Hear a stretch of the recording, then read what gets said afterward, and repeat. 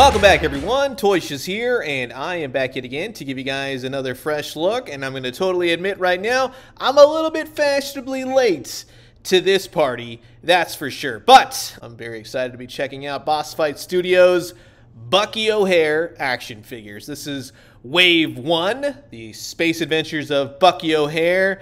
Bucky O'Hare himself, yellows and reds and greens. Remember that cartoon? It was awesome. I'm still humming it in my head. You also have first mate Jenny right here. She's the other figure in the first wave.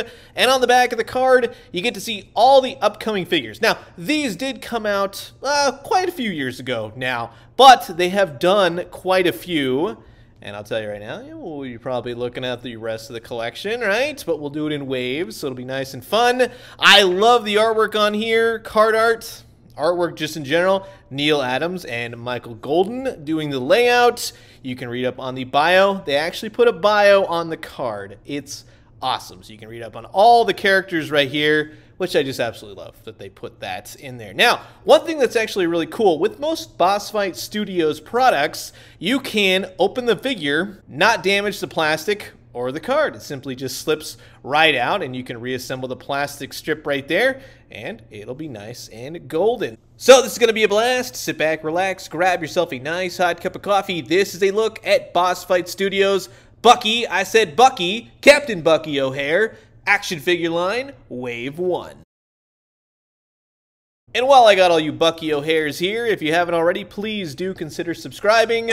Old Toys, New Toys, daily news updates. I guarantee you'll find something here that you like. So we'll kick it off with the first mate, Jenny. And she looks pretty darn cool. She's got a lot going on, and she has quite a few accessories, which I, I, always like to see, right? A lot of face portraits to swap out. Now, she does come with two swap out energy effect hands. That's actually pretty cool. It's kind of have a, a, Kirby crackle effect. Really nice burst of energy on both. You got a couple extra hands. Each ones are a little bit different. You got a weapon holding hand, you got a fisted hand, and then you have some more of those power energy hands as well. Speaking of power energies, yeah, you get two nice effects that will clip onto her wrists. Really well done. Go very easy with them. You don't want to accidentally snap off the tips. They look to be very brittle, just FYI. And then, while you have some inner swappable, not quite head portraits, but face portraits. And I like that they do that. That's actually a pretty sly deal right there. Each one's a little bit different. You got a more poised kind of expression. You got the winking face, which that's actually my favorite. That's pretty darn cool. I like the way that they did that. And of course, you have the Jenny action figure, and she is pretty well done. I gotta give it to him. I gotta say, as late to the party I am with these things, they're really cool in hand. It was not what I was expecting, seeing the photos for all this time, right? She's got big, huge hair, big, huge tail to her, nice little sprays of blue within the white. The tail will definitely help her stand. You're going to need her to do that. She's very back heavy, very top heavy. But the silver, the purple, there are very few hiccups here and there. For the most part, the paint is well done. She has some pretty solid articulation as well for being a smaller type figure. The legs, the arms, nothing double jointed. It's all single jointed, but it works and it works well. There's nothing loose. There's nothing to the degree of like, oh man, that's just that's just falling over. Uh, the paint is ripping or scratching. No, it looks good. The head, you're not going to get much movement. The tail is actually on a ball joint. Like I said, it definitely helps her in standing because her feet are kind of tiny with those space platforms or whatever she's got. But getting her into a pose and utilizing the tail is actually pretty well done. It's a well designed figure, especially with the tail thought out to help you in that sense. Now, with the face portraits right here, these simply just come off just like that. They're a little bit snug when you first get the figure, but once you kind of figure out how to pop them off in general, they go pretty easy. So no problems there. I will say that if you wanted to, instead of pushing it all the way in, each of them line up nicely, but maybe you come to the idea that, you know, if you're out of a display and you want to swap them out real easy, don't push them all the way in. Again, they're not hard to get off once you get them on. But it's just something to think about. But when you get the energy effects and you get her going, yeah, she definitely looks cool. She poses well, the winking face, the energy, Everything works on this figure. Everything looks good. I would say, if anything, there's a couple paint mishaps here and there, especially in the joints where they didn't paint the inside of the joint, which is not really a problem, and it doesn't scratch any paint, so that's also a good thing. However, you give her one of uh, Bucky O'Hare's gun, get her a nice pose, and she is definitely a very cool looking first mate Jenny. I gotta give it to him all day. Now let's talk about the green rabbit that goes where no ordinary rabbit would dare. I'm talking about Bucky, Captain Bucky O'Hare. I have had the theme song stuck in my head for days now from doing this video. My God. But that's a great looking Bucky O'Hare action figure. He comes with some twin pistols right here. That has really nice silver paint. There's no brush, there's dry brush, nothing else. It's just a simple blaster gun, and I definitely dig that. As with the extra, we'll say gloved hands. He's got a lot of different expressions you can achieve. Outstretched hand. He's got the weapon holding hands for both hands, and he has the finger pointing one, which is my favorite.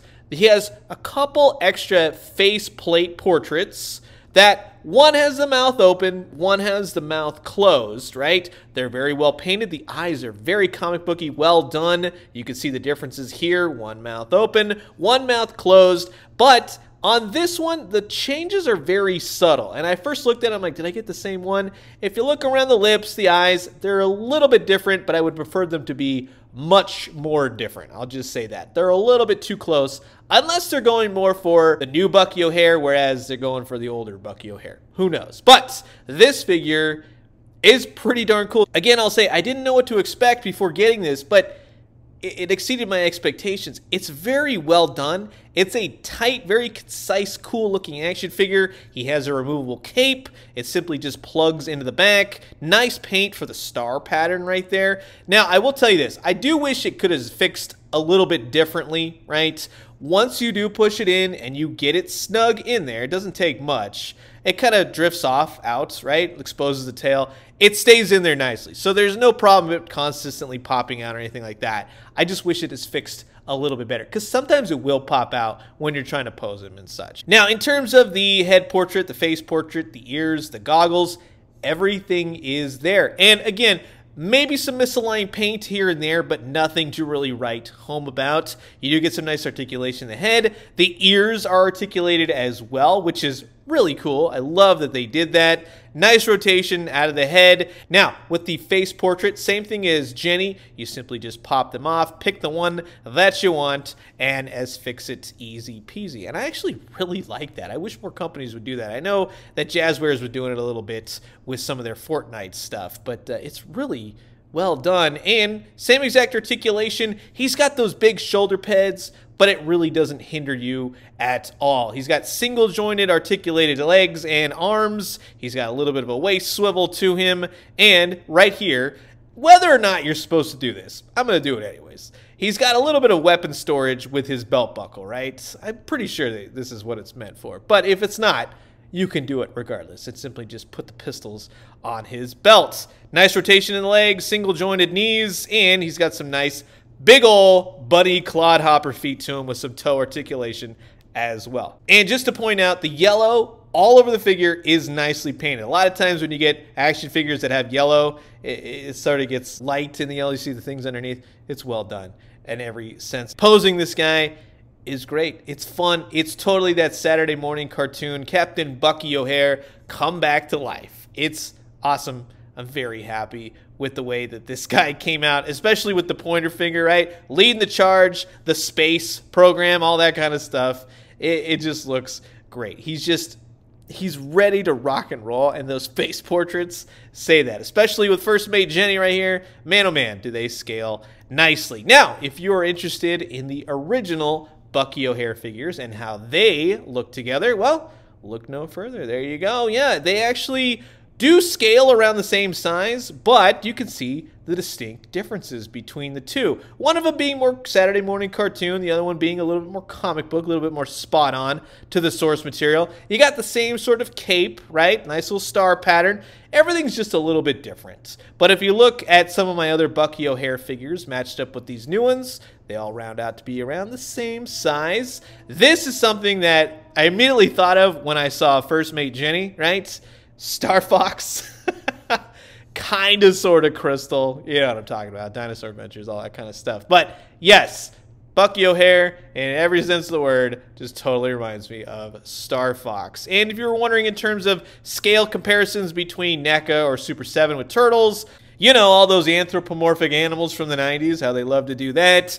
Star Wars, of course, thrown into the mix is very Star Wars heavy with everything that goes on in Bucky O'Hare and just a few more 90s properties to boot. So that's going to wrap it up for my look at the first wave of Boss Fight Studios Bucky O'Hare action figures. And thank you to everyone at Boss Fight Studios for sending these over to give you guys this fresh look. I'm very much impressed with the line. This is a lot of fun and look forward to my looks at more of the waves of Bucky O'Hare. Whether or not they continue the line later down the road, we got some great action figures to check out regardless. So, you've heard my thoughts. Now I'm curious to know yours. Comment below, let me know. Let's talk everything Bucky O'Hare.